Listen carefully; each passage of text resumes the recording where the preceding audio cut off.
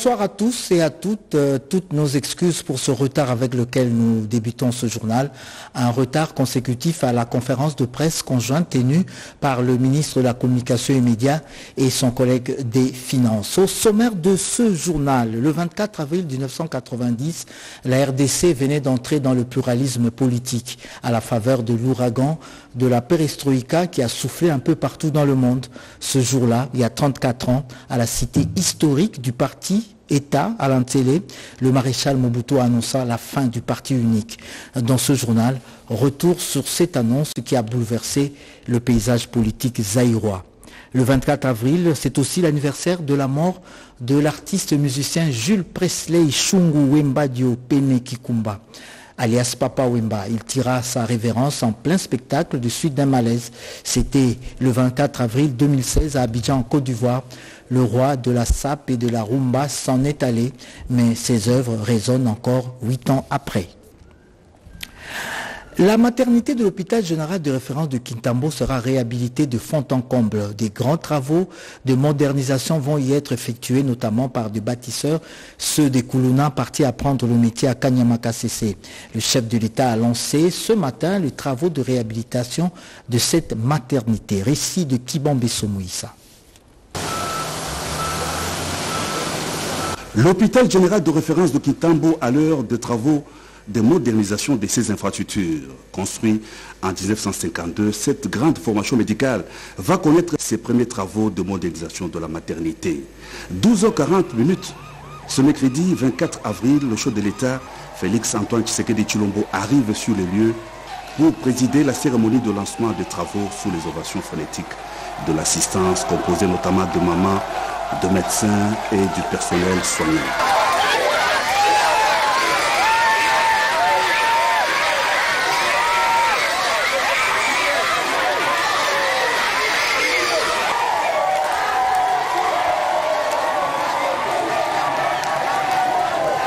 Les grands travaux de rénovation en profondeur consistent en la construction d'un nouvel immeuble moderne et la modernisation de l'ancien bâtiment. La grande particularité est que ces travaux ont comme maître d'ouvrage les bâtisseurs du service national. Il s'agit de ces jeunes éléments du service national, anciens délinquants appelés Kuluna, causant des troubles et de l'insécurité à Kinshasa, qui ont été récupérés et acheminés à Kanyamaka CC pour leur rééducation et leur apprentissage des différents métiers.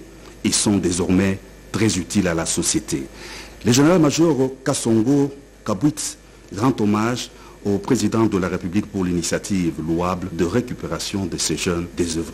À votre avènement à la tête de ce pays, grâce à la ferme volonté de votre suprême autorité, de voir d'une part les sols congolais prendre sa revanche sur les sous-sols et d'autre part seul devant la jeunesse congolaise jouait un rôle de premier plan dans la reconstruction et le développement de la République démocratique du Congo, le service national est en train de retrouver ses lettres de noblesse. Il est devenu l'outil idéal, pour ne pas dire providentiel, de votre combat pour l'autosuffisance alimentaire et l'encadrement de notre jeunesse désœuvrée. Les travaux sont entièrement financés par la présidence de la République et dureront 24 mois au maximum, à renchérir le numéro 1 du service national. Les allocutions de circonstances terminées, le président de la République a été convié à poser la première pierre pour le lancement de grands travaux de modernisation de la maternité de Kitambo.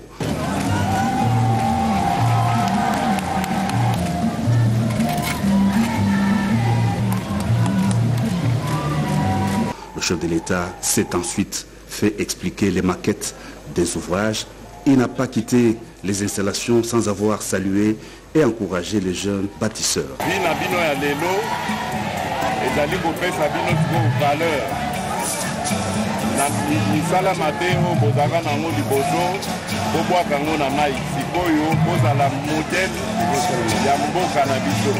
Le président de la République a pris congé du personnel soignant avant de prendre un bain de foule à la sortie de l'hôpital de Kitambo.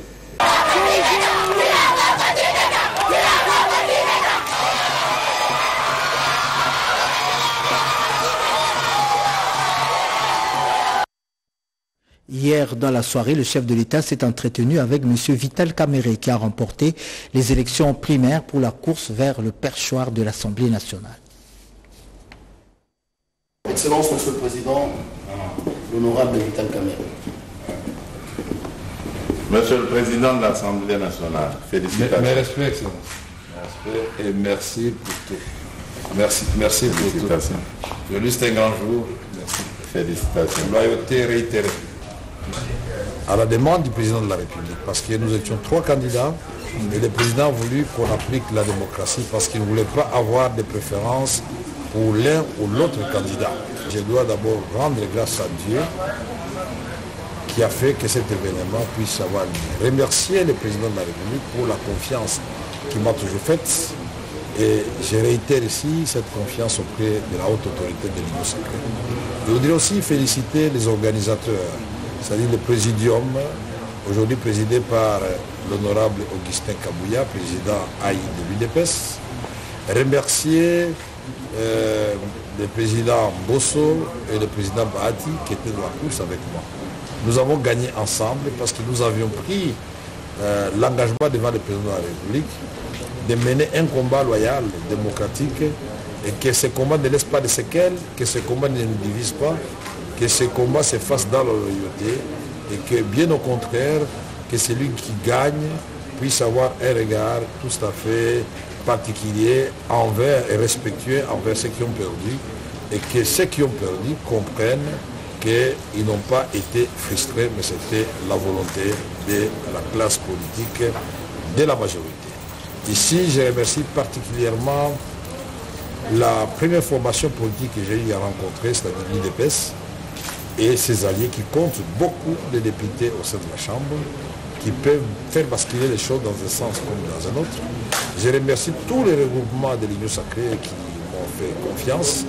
Je remercie les amis du PSR, Tony Kankou, Jean-Lucien Boussa, Julien Paloukou, Bokele et d'autres qui nous ont accompagnés dans ces deux combats.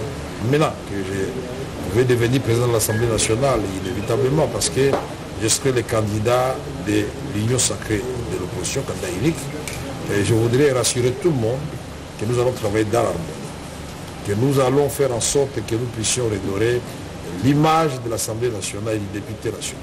Nous allons faire en sorte que la séparation des pouvoirs soit une réalité. Nous allons pousser le gouvernement, la première ministre et les ministres à remplir leurs assignations contenues dans le programme du gouvernement. Donc le contrôle parlementaire sera de guerre.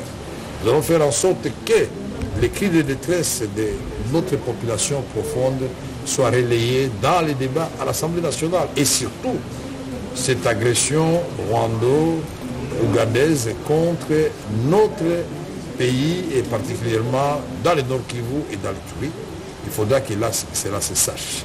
Nous allons faire en sorte que les réformes soient élaborées et adoptées à temps pour que les actions du gouvernement trouvent un matelas sur lesquels elles vont prospérer et porter des fruits en termes d'héritage que le président voudrait laisser à notre pays.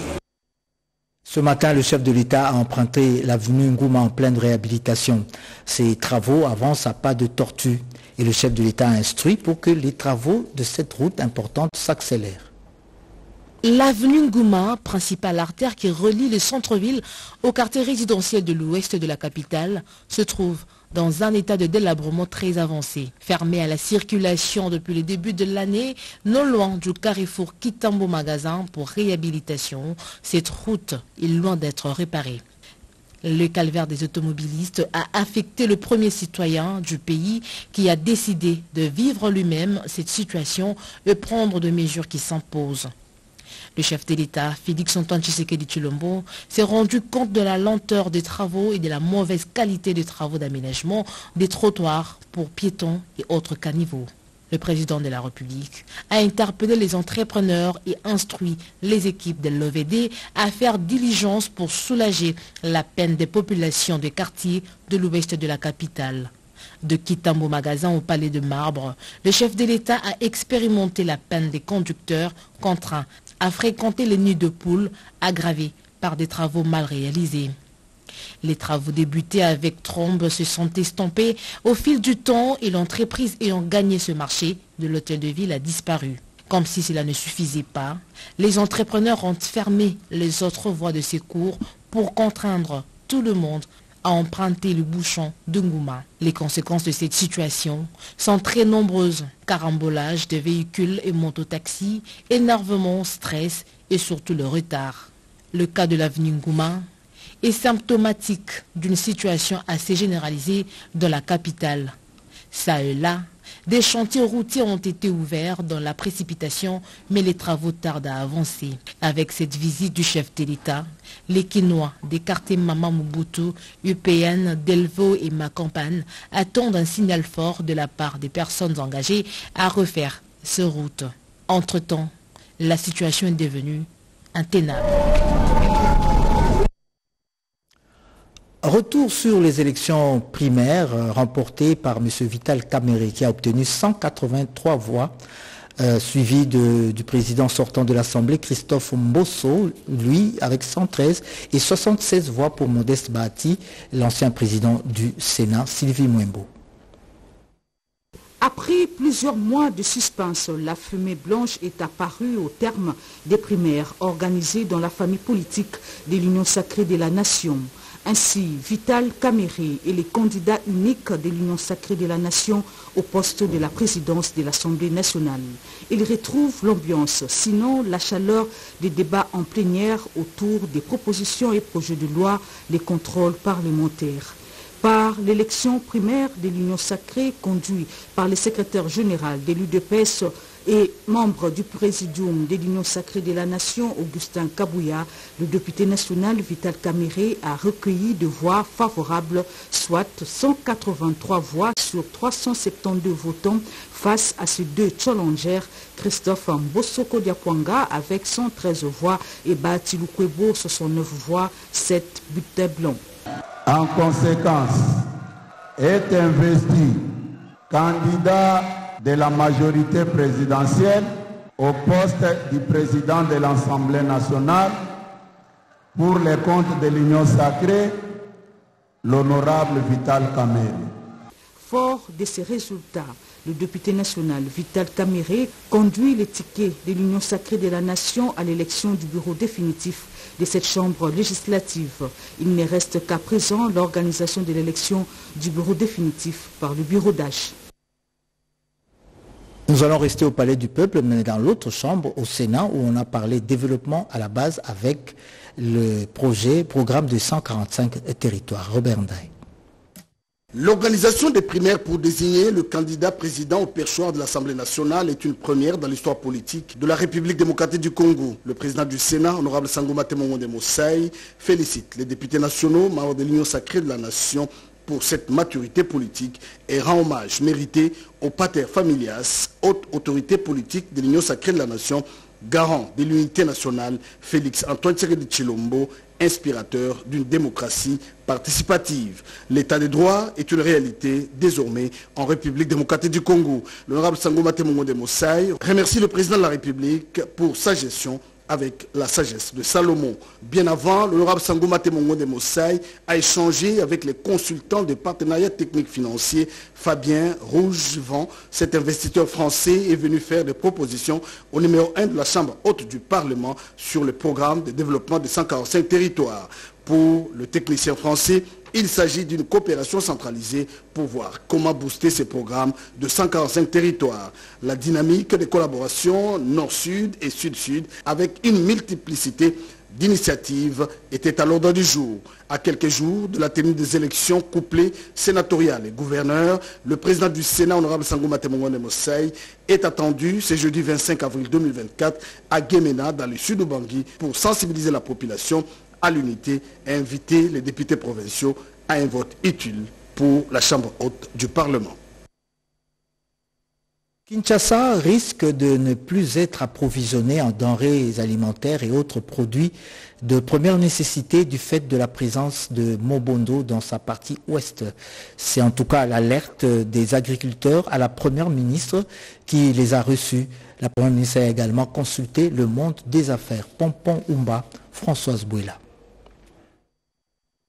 Au cours de ces échanges avec les jeunes entrepreneurs regroupés au sein de la Fédération nationale des jeunes entrepreneurs du Congo, l'accès au financement, l'accès au marché et la formation, autant des sujets qui ont été abordés. La création des emplois. Et quand on parle d'emploi, on voit beaucoup plus les jeunes. Pour nous, l'une des solutions, ramener euh, tous ces jeunes qui sont dans l'informel euh, vers le formel, d'une part, mais d'autre part, bien accompagnés et bien encadrer ceux qui sont déjà dans le formel, ceux qui travaillent, ceux qui entreprennent pour que leurs entreprises se développent davantage et qu'ils puissent contribuer exactement à l'assiette fiscale de l'État. La Fédération des entreprises du Congo, FEC, en face de la chef du gouvernement, le patronat congolais est préoccupé par l'amélioration du climat des affaires. Les hommes d'affaires attendent beaucoup du prochain gouvernement. La FEC attend beaucoup de choses de ce gouvernement. Je vous ai parlé tout à l'heure du climat des affaires. La FEC aussi attend d'être associée à tout moment quand il y a certaines décisions qui concernent le secteur privé seront prises, c'est bien de nous associer en amont. La COPEMECO, 35 ans d'activité aux côtés des PME, a présenté la situation du secteur et des dysfonctionnements qui freinent l'émergence de la classe moyenne. La coopérative soutient vivement le vote des lois. Nous avons recommandé euh, à Madame euh, le Premier ministre de pouvoir euh, mettre en place rapidement les mesures d'application de plusieurs instruments juridiques, notamment la loi relative à l'entrepreneuriat start-up. Nous avons la loi sur les tribunaux des commerces, ainsi que d'autres lois, et surtout redynamiser les institutions telles que les guichets uniques de création d'entreprises. La coopérative Bilanga Betou, un réseau agricole des producteurs, transformateurs et consommateurs des produits locaux, travaille pour l'autosuffisance alimentaire. Nous avons attiré l'attention de Madame la Première ministre sur l'insécurité foncière. Des milliers de Congolais n'arrivent plus à accéder à leurs fermes, à leurs sites agricoles à cause de l'instabilité agricole, instabilité foncière, pardon, qui risque même de provoquer euh, une crise euh, alimentaire du manioc à côté de celle du maïs qui existe déjà. Le cercle d'affaires pluriel qui encadre des femmes dans divers domaines soutient l'économie solidaire. On ne peut pas développer cette économie si on ne prend pas en considération les compétences des femmes, si on ne mutualise pas nos acquis et si on, si on ne met pas ensemble les jeunes autour de la table. On ne peut pas avoir un gouvernement qui prend des décisions en excluant une partie de sa population. L'Association nationale des établissements et entreprises publiques ANEP vient après la fonction publique et l'armée en termes d'effectifs d'employés. Ce secteur demande à la Première ministre de renforcer la sécurité juridique de ses membres. On ne peut pas espérer créer les emplois et négliger les emplois existants. Et l'ANEP a besoin de l'accompagnement et du soutien de l'État pour continuer à pérenniser les emplois qu'elle organise à travers ses multiples structures implantées dans toute la République démocratique du Congo. Les hommes et les femmes du secteur privé ont, de par leur domaine d'activité, une lisibilité du social et de l'économie. Une lecture nécessaire dont la première ministre Judith Soumino Atuluka a besoin en ce moment des consultations. Mesdames et messieurs, vous vous souviendrez certainement de cet enfant de 3 ans qui a été kidnappé par son chauffeur à Goma. Eh bien, l'enfant a été retrouvé. La police a réussi à l'extraire des mains de ses ravisseurs.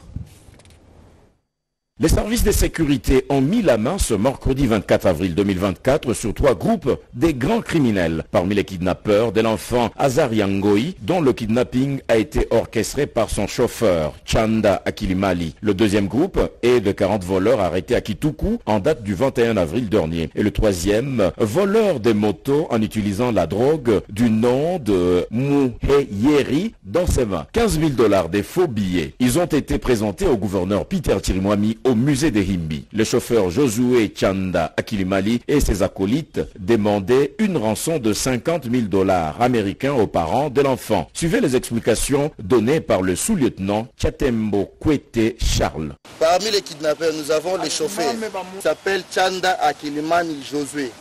C'est lui le chef d'équipe, conducteur d'automobile et lui-même a kidnappé l'enfant de son patron. Lui, c'est l'organisateur des kidnappings, c'est lui qui avait organisé. Suivi de six mois désiré C'est lui le séquestrataire de l'enfant kidnappé. Shinamula Shweka Simplice. Lui, il était chargé des opérations. Pasteur docteur Trésor Ngoï, parent de l'enfant, remercie la police nationale congolaise pour le travail abattu car il a retrouvé son enfant sain et sauf. Nous remercions l'autorité provinciale pour euh, cette implication, particulièrement euh, euh, le commandement de la police. Le nom de la police, depuis le premier jour, le commandement nous, nous accompagne, nous remercions le commissaire provincial. Ils vont répondre de leurs actes devant la justice. Les hommes d'affaires congolais vont accompagner le chef de l'État lors de son prochain séjour de travail en France. Il s'y prépare activement, nous dit Patrick Moukoui.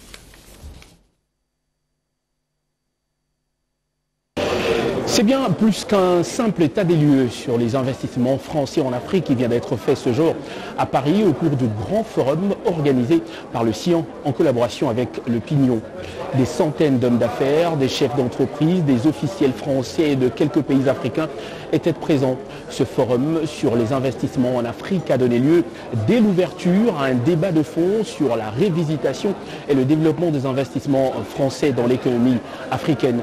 La République démocratique du Congo a, elle, marqué sa particulière présence d'abord par un entretien de premier plan avec le directeur général de l'Agence nationale pour la promotion des investissements, M. Anthony Kinzo, qui a étalé en longueur la vision congolaise du développement des investissements avec un accent sur la diversification de l'économie par le développement de la chaîne de valeur.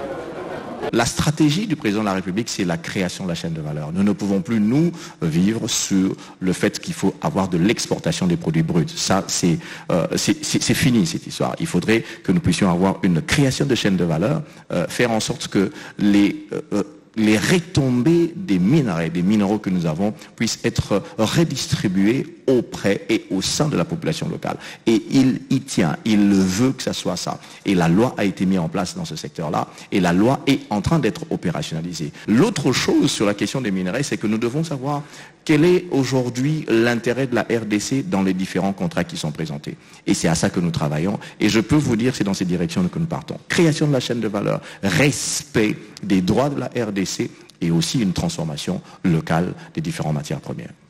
Ici à Paris, la présence congolaise est bien remarquable cette semaine dans les salons euh, d'hommes euh, d'affaires, une présence qui pourrait s'accentuer dans les jours à venir, le pays étant très ouvert aux investissements étrangers, notamment ceux Et cette mission congolaise vient donc poser le pavé à la visite imminente du président de la République, Félix Antoine Tshisekedi, ici à Paris, en France. Une visite aux grands enjeux et qui pourrait pratiquement repenser les relations économiques entre la France et la République démocratique du Congo autour des investissements. De Patrick Moukoui depuis la capitale française. Le programme de gratuité de la maternité au cœur de réflexion avec la revue annuelle du Fonds de solidarité de santé. Edith Chala. C'est pour renforcer la gouvernance et la capacité institutionnelle du Fonds de solidarité de santé pour une gestion optimale de ces interventions que se trouvent réunis tous les participants à cette revue semestrielle des activités du FSS. Le directeur général, le docteur Anatole Mangala, s'est livré à la circonscription du travail attendu de ces participants d'horizons divers. Ce qui s'est fait dans ce cadre de la couverture santé universelle avec la gratuité de la maternité et soins de nouveau-nés impose une redevabilité permanente. De septembre 2023 à février 2024, le programme est fonctionnel depuis six mois, au cours desquels le Fonds de solidarité de santé a mené des activités, notamment la contractualisation avec les établissements de soins de santé accrédités par l'autorité des régulations et de contrôle de la couverture santé universelle, le suivi des risques auprès des établissements de santé ayant pris en charge les bénéficiaires et le paiement des prestataires de soins. L'affectation des fonds mis à la disposition pour atteindre les résultats attendus dans le plan d'action du Fonds de solidarité de santé 2024-2022 obéit à cette logique. À l'issue de cet atelier de trois jours, il sera question de présenter les résultats des interventions réalisées en 2023 et formuler les recommandations pour les interventions futures, entre autres. Les feux de brousse sont devenus fréquents dans nos forêts.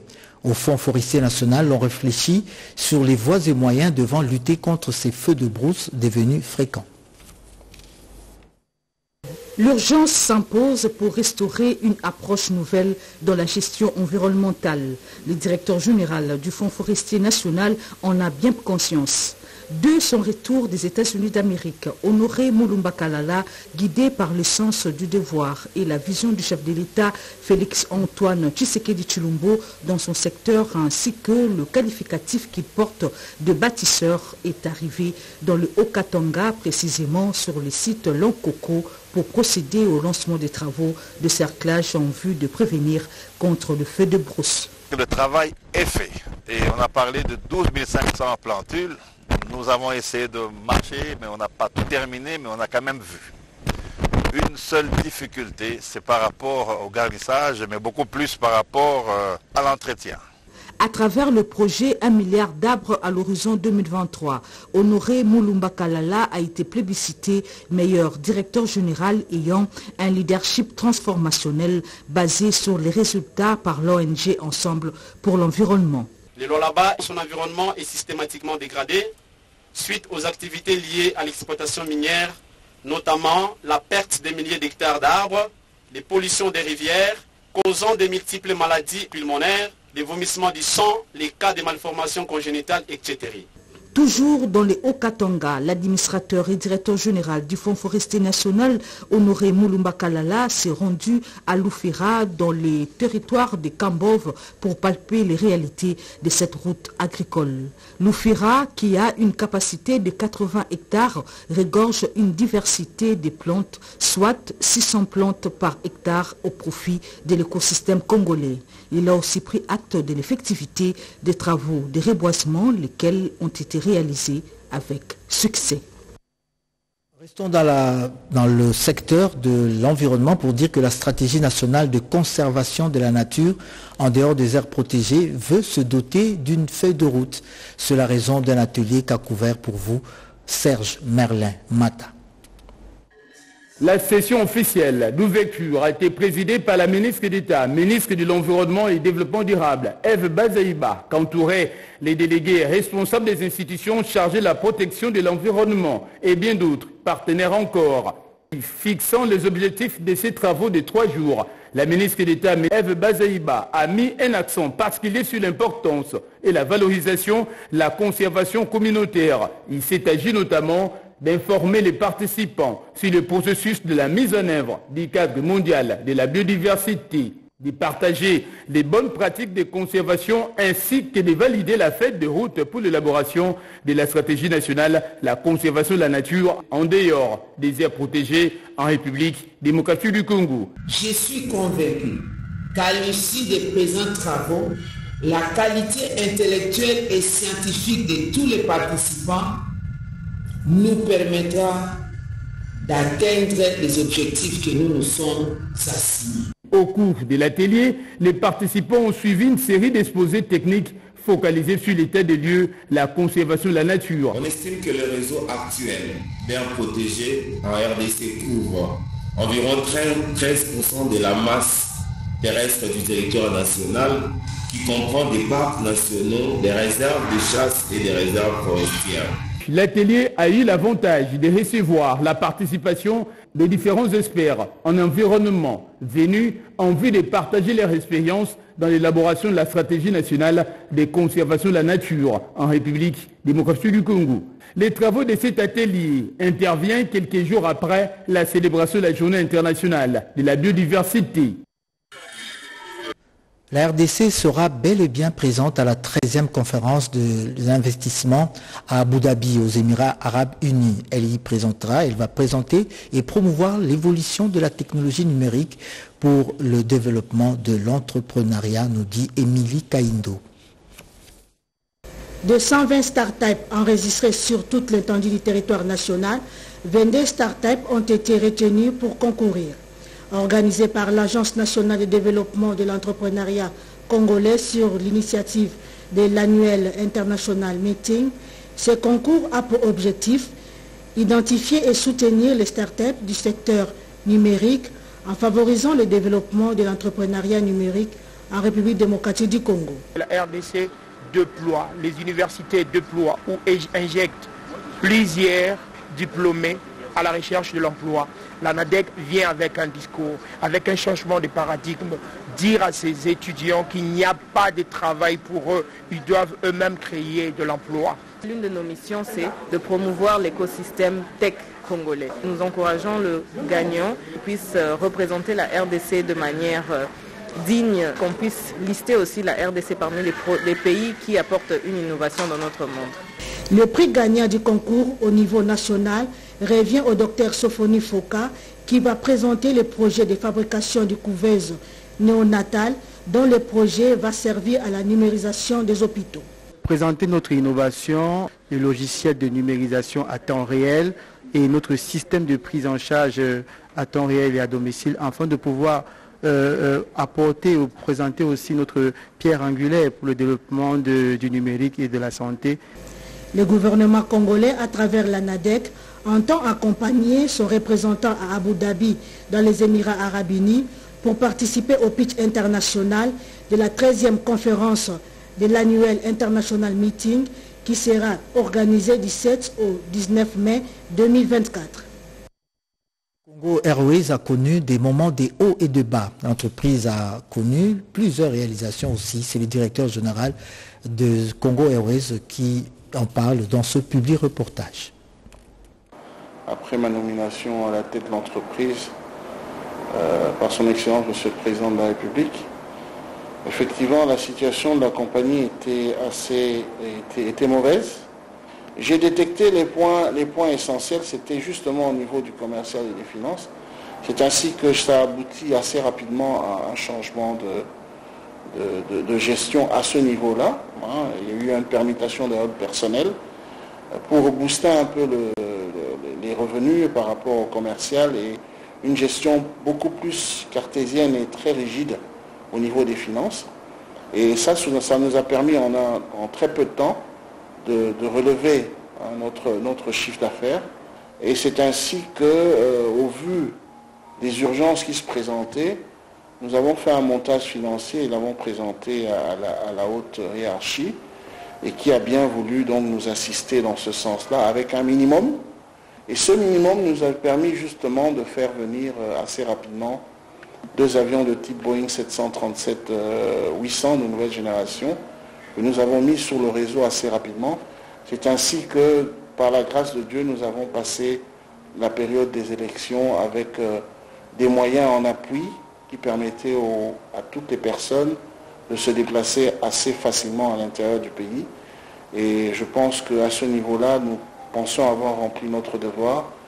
Et, mais ça ne s'arrête pas là, parce que Congo Airways c'est la continuité. Donc nous continuons. À l'heure où je vous parle, nous sommes passés de deux avions à trois avions euh, pour renforcer la, demande. Dans la vision du chef, c'est vraiment de, faire de Congo Airways euh, la compagnie de référence, euh, comme l'a été Air Zahir à l'époque. Nous travaillons d'arrache-pied pour y arriver. Le tout premier forum sur la justice en Afrique a vécu à Rabat au Maroc. Ce forum se veut la promotion et le partenariat entre les États africains en matière de justice. Euh, Yvette Mankoutima pour le reportage. Promouvoir une collaboration et établir un partenariat entre les États atlantiques africains et renforcer dans un cadre holistique mettant en relief le rôle de la justice, c'est le contenu des sujets examinés au cours du premier forum des coopérations sud-sud sur la justice des pays africains de l'Atlantique qui s'est déroulé à Rabat au Maroc. Forum auquel a pris une part active la ministre d'État, ministre de la Justice et garde des Sceaux, Rose Mutombo Kiesi. La République démocratique du Congo relève les terrorismes et les crimes transnationaux organisés auxquels elle est confrontée par suite de la guerre lui imposée par l'un de ses voisins immédiats, les Rwanda, à travers ses supplétifs terroristes du M23. Cette situation déplorable ne favorise pas un climat propice à la paix dans la sous-région.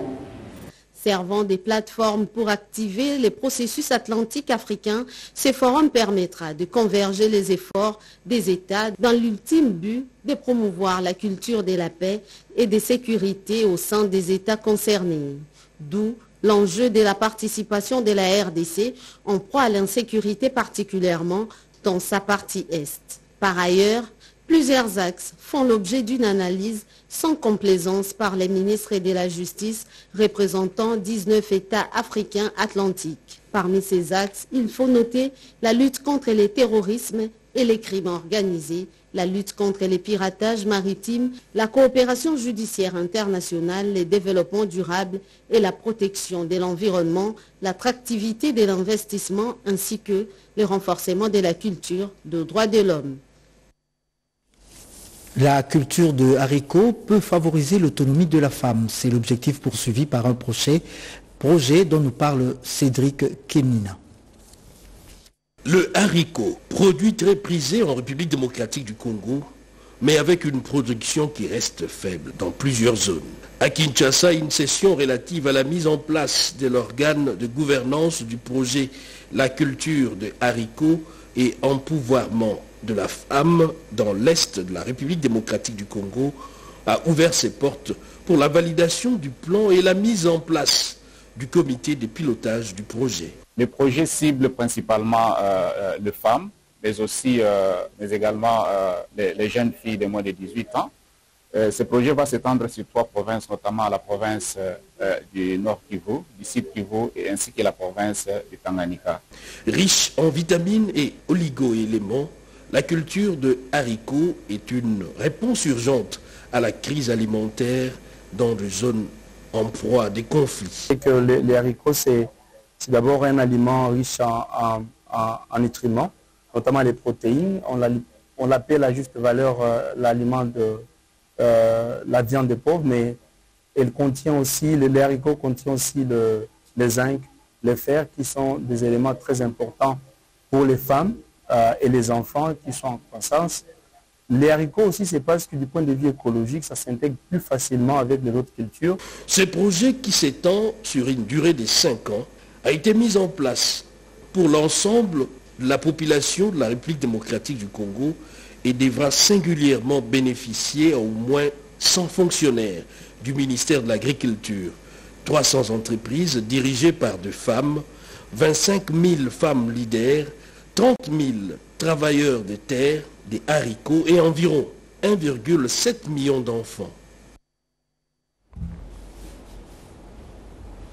L'ENA, l'École nationale d'administration, vient d'organiser une formation sur la passation de marché.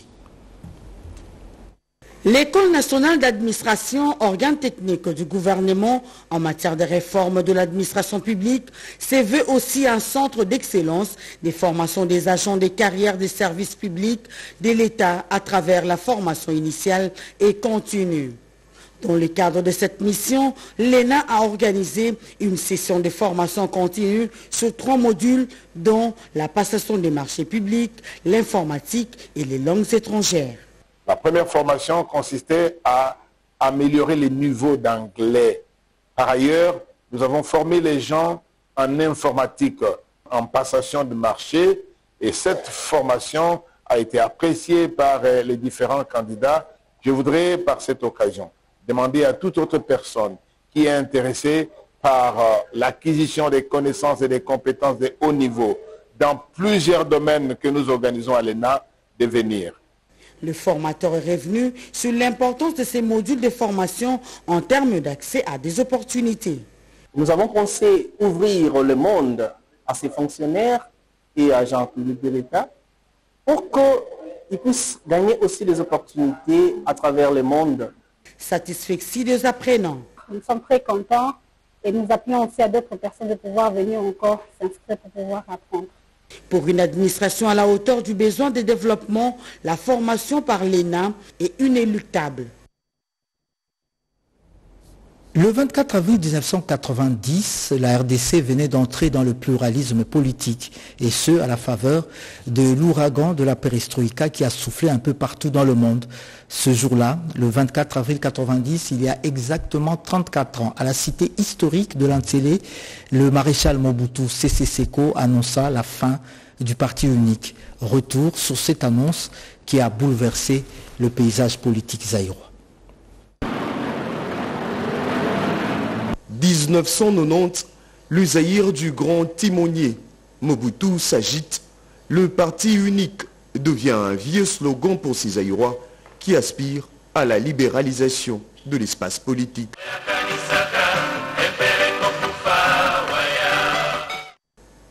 Le 24 avril de la même année, devant un parterre de ministres, magistrats, généraux et parlementaires, Mobutu Sese Seko Kukumbendu Wazabanga ouvre le van de la démocratisation. Face aux grandes mutations qui tourmentent le monde en ce XXe siècle finissant, j'ai estimé, seul devant ma conscience, de tenter de nouveau l'expérience du pluralisme politique dans notre pays avec à la base le principe de la liberté pour chaque citoyen d'adhérer à la formation politique de son choix.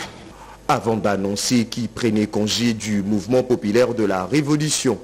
Pour lui permettre de se choisir un nouveau chef devant conduire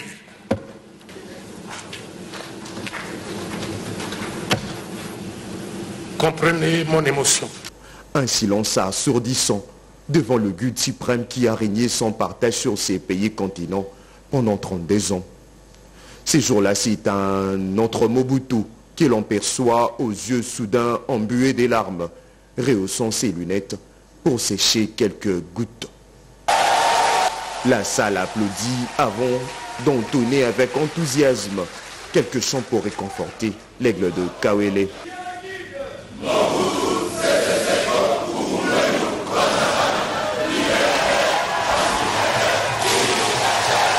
Comprenez mon émotion. Trois petits mots devenus célèbres qui ouvriront la route à une succession d'événements jusqu'à la chute de Mobutu en 1997. 34 ans après, le parti politique ne cesse de pousser comme de petits pains sur le marché au nom de la démocratie tant voulue par le peuple congolais. Le Zaïre, aujourd'hui la RDC dirigée par le président Félix Tshisekedi, fils de Tshisekedi Wamulumba, Sphinx de Limité, compte près de 1000 partis politiques.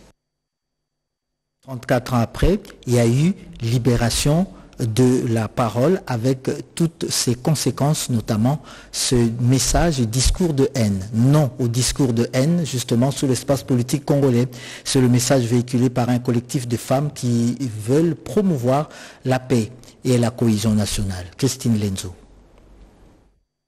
Cette matinée organisée par la Ligue internationale des femmes militantes pour la paix et sécurité et actrices de développement en RDC était pour décourager les discours de haine ayant émaillé les élections de décembre 2023 pour que ce genre de discours ne se reproduisent plus à la veille des élections des gouverneurs de province et des sénateurs. Soucieuse de la cohésion nationale, de la promotion de la paix et de la sécurité de la République démocratique du Congo, consciente que les discours de haine déclenchent des affrontements, dans la plupart des cas, ce sont les femmes qui en sont victimes. Elles sont tabassées, elles sont violées, elles sont mutilées et payent le lourd tribut. Pourtant, celles-ci sont porteuses de vie pilier central de la famille en particulier et de la société en général. Dans la Constitution, tout Congolais a le devoir de respecter et de traiter ses concitoyens sans discrimination aucune. Malheureusement, certains candidats avaient utilisé la fibre tribale pour discréditer la partie adverse ou par manque d'arguments ou d'un programme convaincant, ils ont pris leur adversaire pour ennemi. D'où cet appel patriotique, lu ici par Maître Lisette Mavungu, présidente de WILF RDC. Lançons un appel patriotique à tous les acteurs, actrices, à toutes les militantes et militants des partis et regroupements politiques, aux autorités politico-administratives, aux médias, aux cours et tribunaux, aux institutions d'appui à la démocratie, de promouvoir un discours de paix et de cohésion nationale, de s'interdire de monter les tribus les unes contre les autres, de cesser d'instrumentaliser les jeunes en les entraînant dans les actes de haine tribale et de violence, d'éduquer et sensibiliser les militantes et militants à la culture de la paix. Il est à noter que cette matinée d'appel était financée par WILF Women, Peace and Security. 24 avril, c'est aussi l'anniversaire de la mort de l'artiste musicien Jules Presley Chungu Wembadio, Penekikumba, alias Papa Wemba. L'artiste a tiré sa révérence en plein spectacle des suites d'un malaise. C'était le 24 avril 2016 à Abidjan, en Côte d'Ivoire. Le roi de la sape et de la rumba congolaise s'en est allé, mais ses œuvres résonnent encore huit ans après. Papa Wemba a valorisé la femme au travers son riche répertoire. Maman, c'est l'extrait d'une des